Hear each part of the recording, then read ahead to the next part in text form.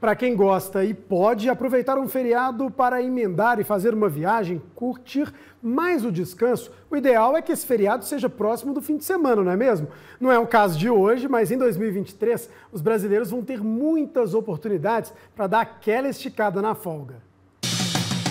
Praia ou campo? Rede ou balada? Cervejinha ou água de coco? No ano que vem, o brasileiro vai ter muitas dessas dúvidas. Você sabe quantos feriados caem em finais de semana no ano que vem? Não, não calculei ainda.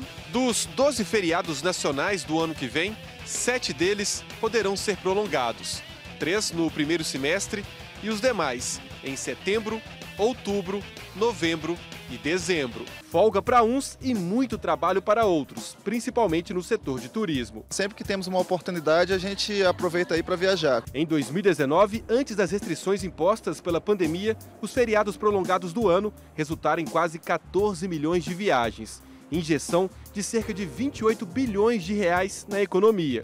Na histórica Ouro Preto, em Minas Gerais, feriados prolongados costumam lotar pousadas e hotéis. Este aqui já tem pacotes promocionais para o ano que vem. Até um mês antes a gente já tem lotação máxima da cidade, fica muito difícil, só consegue com desistência mesmo. Espero muito que seja um ano muito bom, tanto na rede hoteleira quanto para os restaurantes e bares, que é muito positivo para Ouro Preto. A gente tem preparado já a contratação de novos funcionários para esse período e aguardando também a volta do turista estrangeiro, né?